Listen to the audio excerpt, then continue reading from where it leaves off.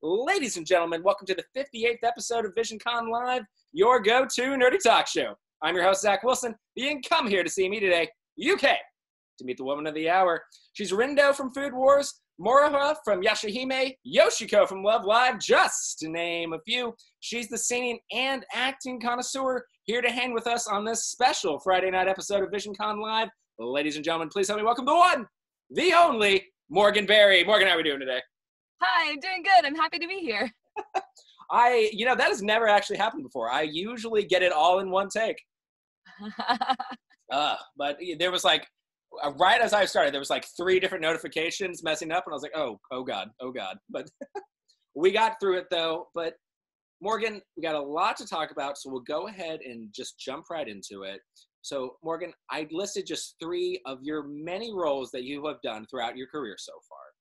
But I wanted to start us off with how did we get here? Was showbiz always the plan, or did something happen kind of later in life that brought us to where we are today? Show business was kind of always the plan. I started off as just a, a singer, and I, I've been acting for about 17 years now.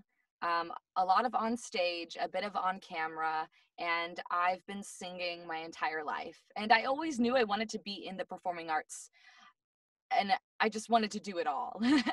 and how I stumbled into voiceover was I won a voiceover competition.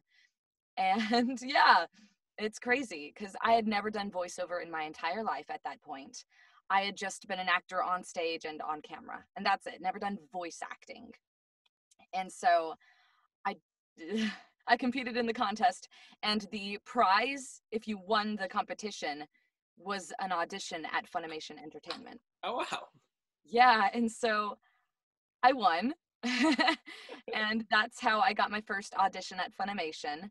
And uh, then I just, they kept sending me auditions, calling me in for more auditions, and I, I started booking, and here I am.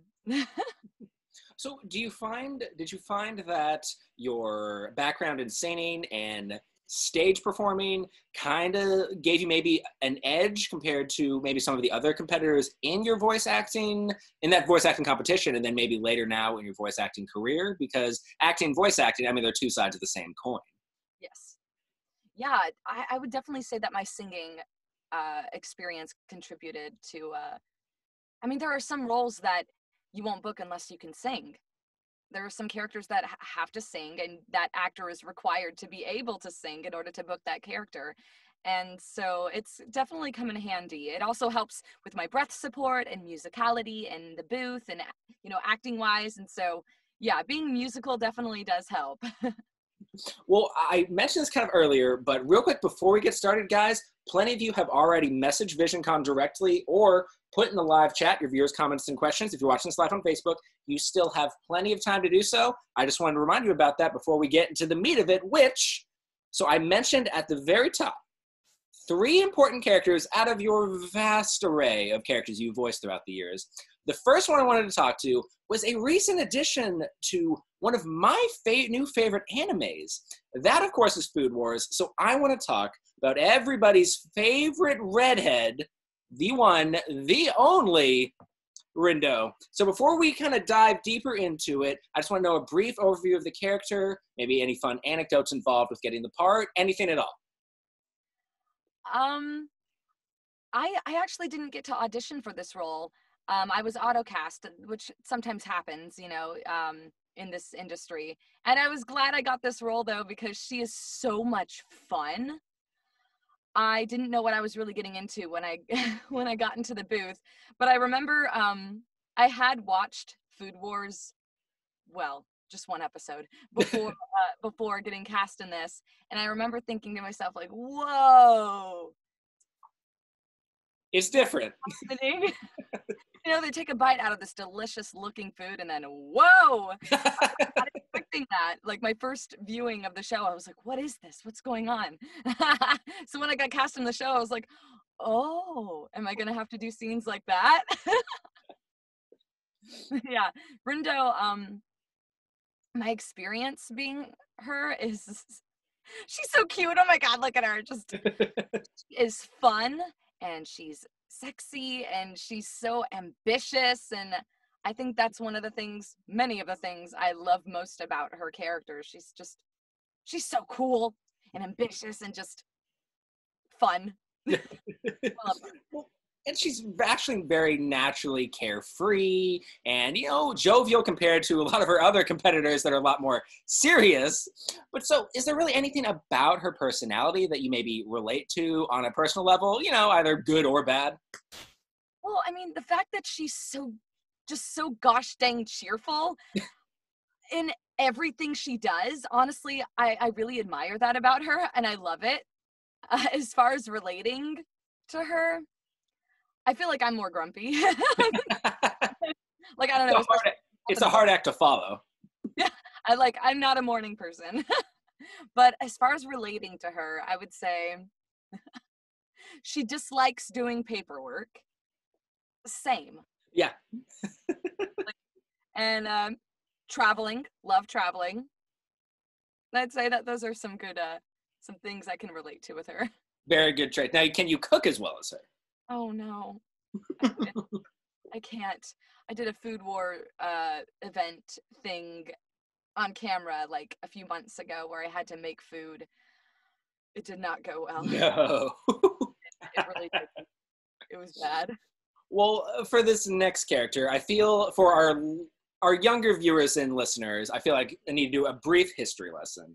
So there was an anime, ladies and gentlemen, that came out that was largely revered as an instant classic not only for its you know prestige but also for the fact that it kind of led the path to creating the big popularity jump in the anime genre here in the west and that anime was called inuyasha.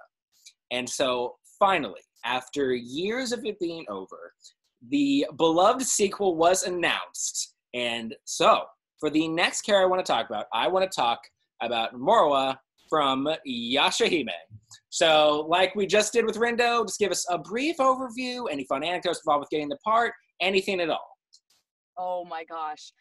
Moroha is so much fun. Honestly, she's both Moroha and Yoshiko, or Yohane. They're two of my favorite characters I've mm-hmm. ever before and Moroha is so, you know, she's my most recent character. Oh my gosh. Oh. okay, so my experience booking her. I didn't think I was going to get it. I oh. really didn't. I here's the thing. I didn't grow up with the show. I I watched it way later on. Um, when I got the audition for it for Moroha specifically, I actually wasn't given any of the other characters to audition for. It was just Moroha. It wasn't Setsuna or Towa. And the thing is, normally I'm kind of, I fit more in the range of Towa and Setsuna.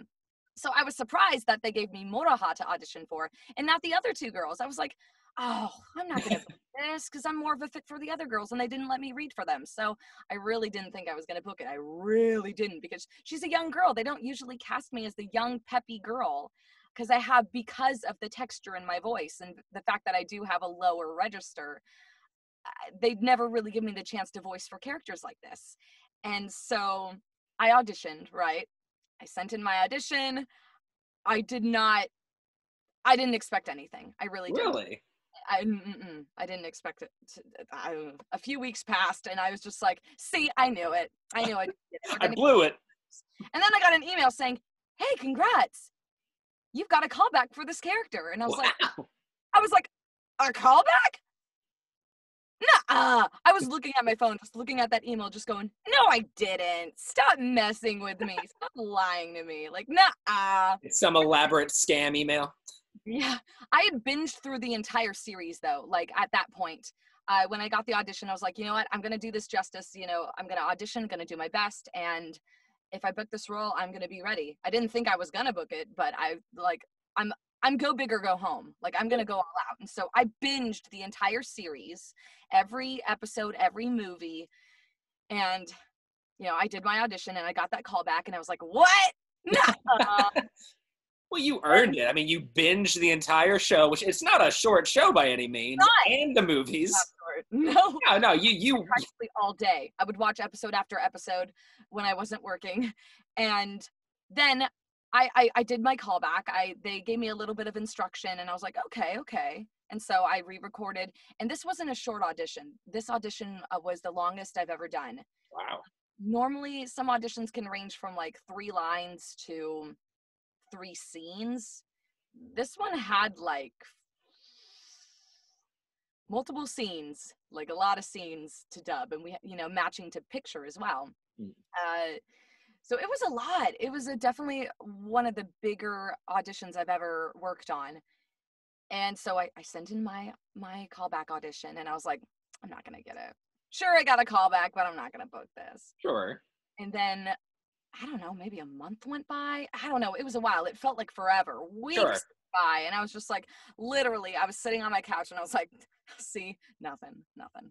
I knew it. I knew it. And then I look at my phone, a And, notification.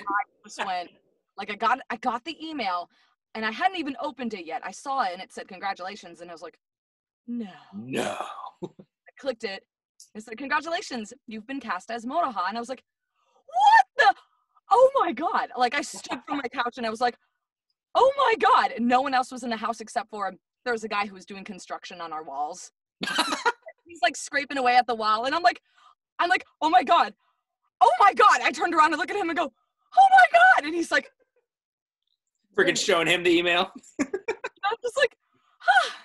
because I can't say what it is. It's NDA. Sure, naturally NDA and whatnot, but and so I'm just freaking out with this guy going, "Are you okay?" Like, at least the guy was a sweetheart. I was freaking out because I really didn't think I was gonna book it, but I did, and I love the character so much, so I'm super grateful that I booked it.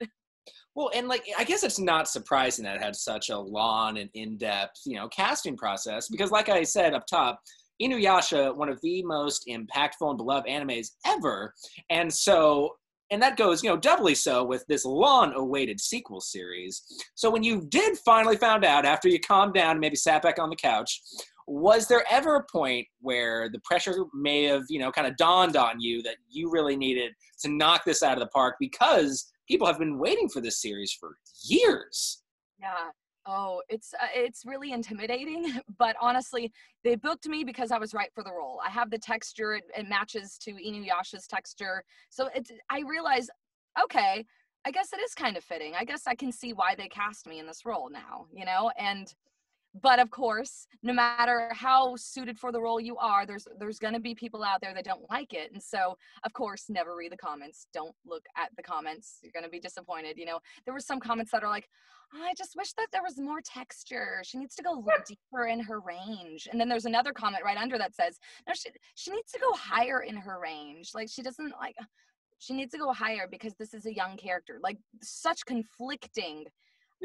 What do you want? What do you want from me? What do you want? Deeper, higher? I don't know. Uh, why don't you get? Why don't you come out and you do it?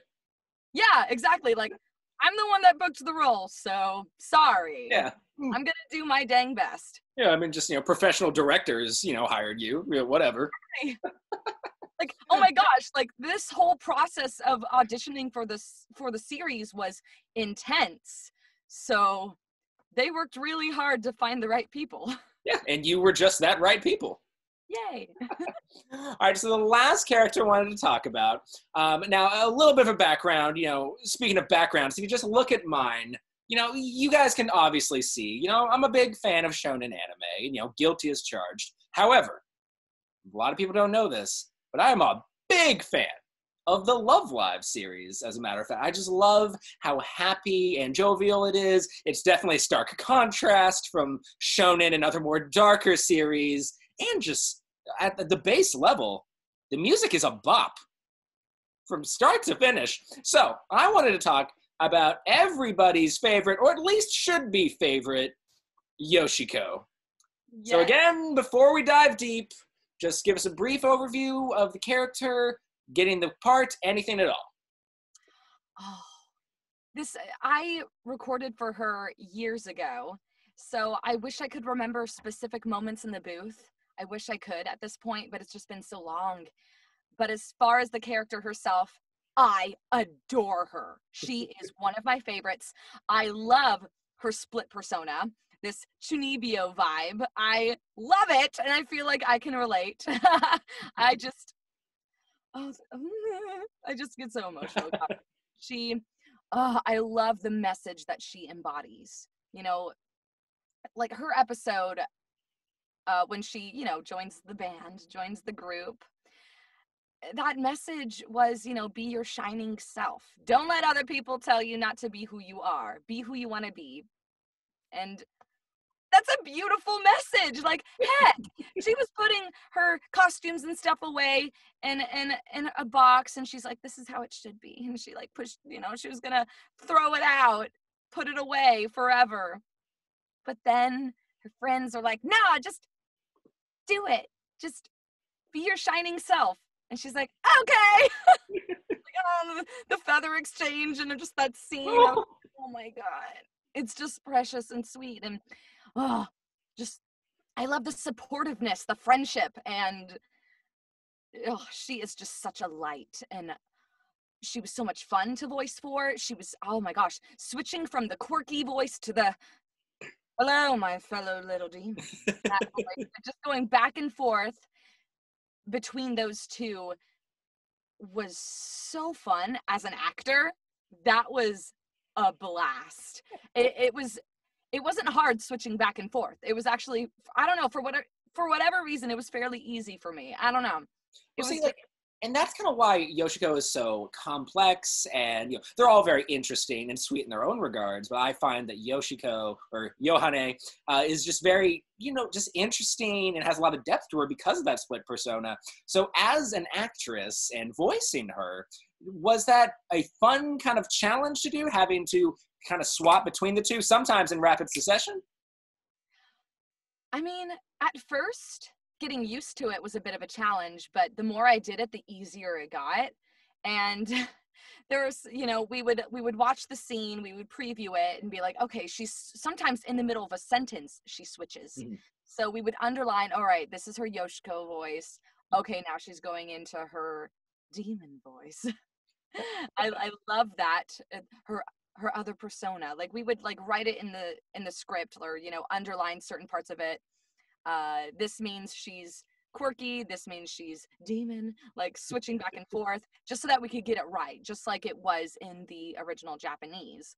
And so that's how we did it and it became pretty easy to switch back and forth.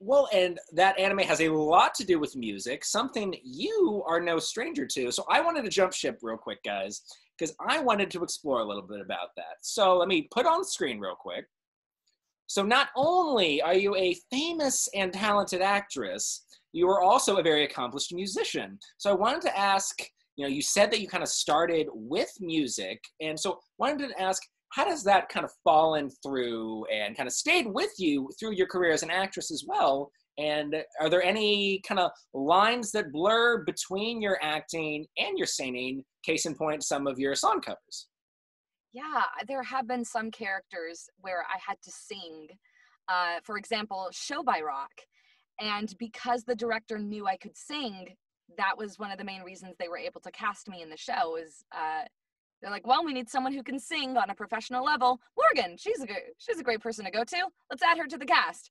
So that was great. It's uh, because of my history with music i was able to um yeah able to book a few roles here and there that involved music. I have two uh, different names I go by Morgan Berry, which is where I produce original songs and parody songs. And then there's the Unknown Songbird. That's the name I go by when I do song covers. I do a lot of song covers from anime titles.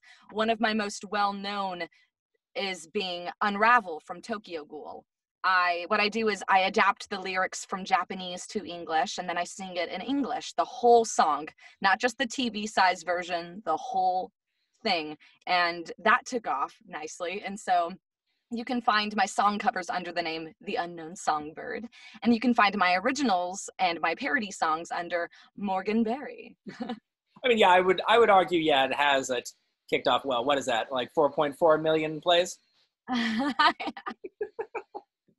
And so, guys, I have a bunch of links in the live chat if you're watching this live on Facebook, or if you're watching this later on YouTube, got all those in the description box below, plus extra ones, which on that note, guys, if you guys haven't already, message VisionCon directly your viewers' comments and questions, or put in the live chat. This is your last chance to do so because, ladies and gentlemen, we're in the plug zone. Morgan Berry, now is your opportunity to plug, promote, advertise, whatever verb you want to use, anything you want. The floor is yours. Cool. Plug zone. Cool. Uh, I'm on Twitter and Instagram at the Morgan Berry. Um, feel free to check out Yashahime. Please check it out. It's it's a lot of fun, and especially if you're an In- Inuyasha fan, like from years ago, definitely check out Yashahime and follow us along on that journey because I am super excited about it. Ah! well, and so something that the public has kind of missed a lot about conventions is autograph signings and you know maybe personal video shout outs well you've remedied that on your website by offering both so you want to just real quick wanted to explore a couple of them there's a lot of very pretty prints and then of course the video and just kind of voice recordings. So kind of tell the people that aren't able to watch this on video so listening now on spotify kind of how they can take advantage of that some of the prints that are available and all of that. Yeah. Well, you can find this store through my website, um, themorganberry.com. There's a tab that says store. You just click on that, and then it's got a bunch of links to one of them being to my autograph store, where you can purchase any autographed print. I will sign it and send it your way. And I can also do video shout outs and live video calls, like a little meet and greets through through video virtually because you know during this pandemic we're missing out on a lot you know there's no conventions really going on and so i kind of remedied that by having those options. And then right here at the very bottom your musical endeavors so when people donate to that what are they exactly donating to? Making music is expensive. I, um, oh so those instrumentals that i have made for my song covers they're not cheap. and so, in order to put out more song covers, I need the funds to actually pay the guy who makes the instrumentals for me. He's really cool. And then of course the guy who mixes the audio for me because i'm not a i'm not a pro with mixing i have to hire an engineer for that so the guy who makes the instrumentals the guy who mixes the audio i have to pay them somehow so yeah and then i just I do the lyrics myself and the vocals myself, but I of course need help from other people. I don't play instruments and I don't mix audio like a pro. Nah. So I have to hire people for that. And so that's where the money goes towards. And guys, I've got all those links in the description box below if you're watching this later on YouTube or if you're watching this live on Facebook, got them right in the live chat. And with that, we're going out of the plug zone and going to our final segment, viewers' comments and questions. So like I usually do, guys, just gonna split it 50-50 between the messenger and the live chat. And unfortunately, I ran out of contact solutions, so I'm blind as a bat right now, so I'm gonna lean in real quick to read your guys' comments. So Chris uh, in said, what's going on? Weird seeing you guys on a Friday. Yeah, I just, for a scheduling thing, we decided to do it on Friday, Chris. Uh, okay, so and uh, Aaron tuned in and said, Hiya, Morgan. Which Disney descendant would Mora want to hang out with uh, daughter of Maleficent and Hades, then son of Belle and Beast, or Evie, Evil Queen's daughter?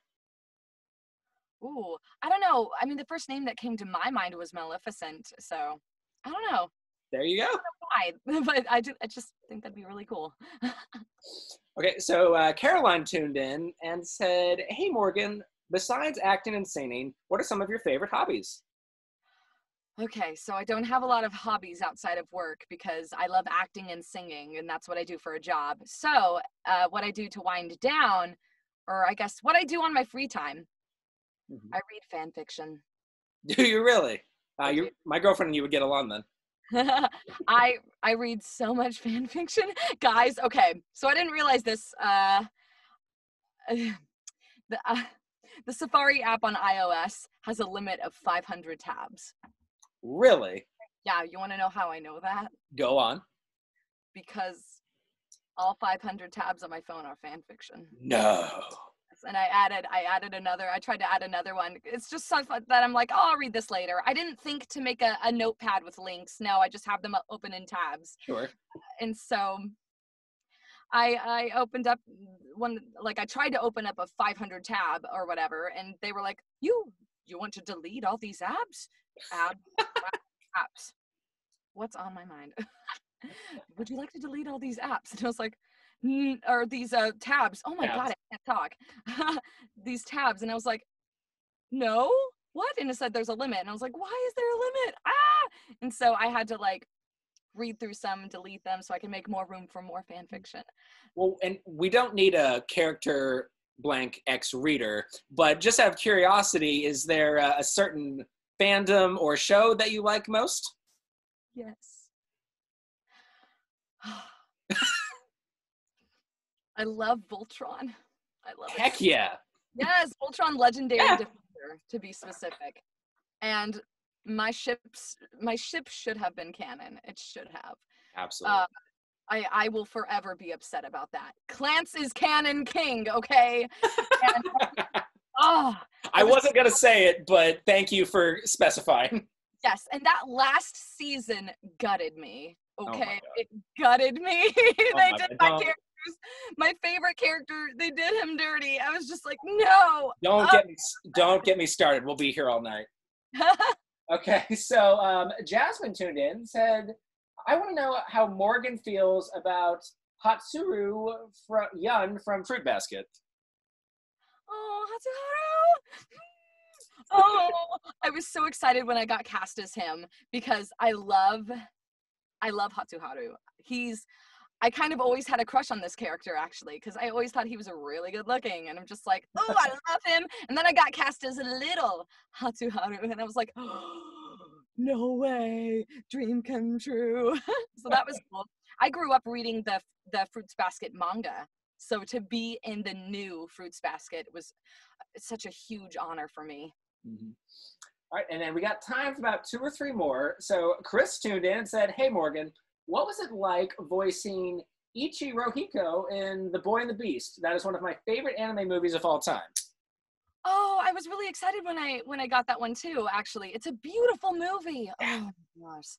I love voicing for boys too. It's just it's a lot of fun and I feel like it comes more naturally to me because I have a deeper register. I love that character so much. I even have his little hat. I have the boar hat. and it's, it's too big for my head though, so I don't wear it, but I have it.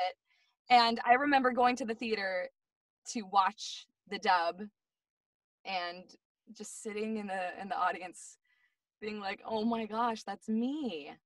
What? That was like my premiere really. That was the mm. first time I could hear myself in a theater you know that was pretty wow. surreal very surreal the end credits started rolling and i was just like oh that's my name that's me i was like this is crazy like it was i'm really honored it's funny because uh, last weekend we had John Swasey, who was Kumatetsu in Boy and the Beast, and it killed me that we ran out of time that we couldn't talk about him. Because I agree, that is one of the best anime films of all time.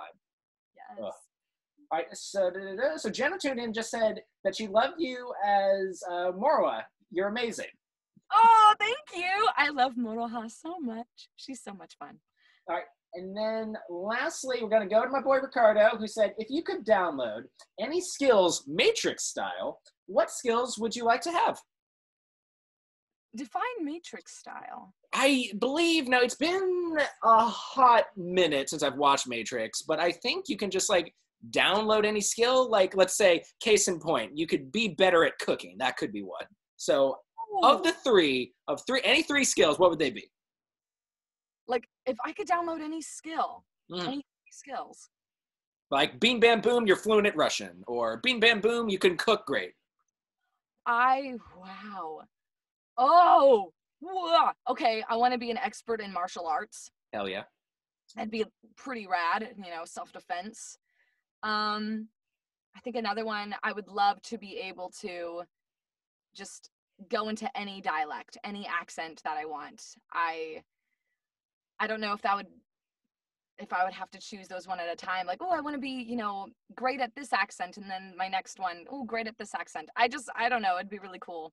I want to be able to break into a perfect Irish accent or something. I think that'd be really neat. But oh, as far as languages, Japanese. I would love to know Japanese. Heck yeah.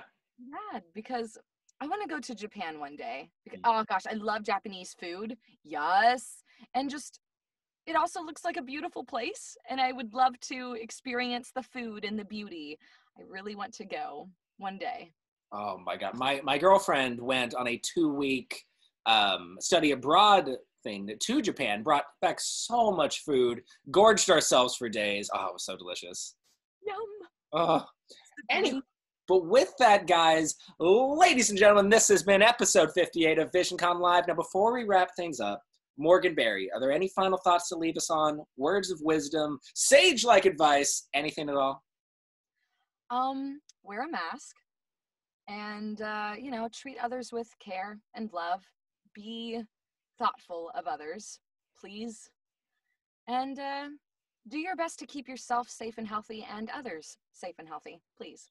Couldn't say it better myself. Ladies and gentlemen, this has been episode 58 of VisionCon Live. Thank you guys so much for watching. I, of course, am your host, Zack Wilson, but much more importantly, this has been my very special guest, Morgan Berry. Make sure to check out all the links down in the description box below, guys. And until next time, always remember that life's better when you have friends to share it with.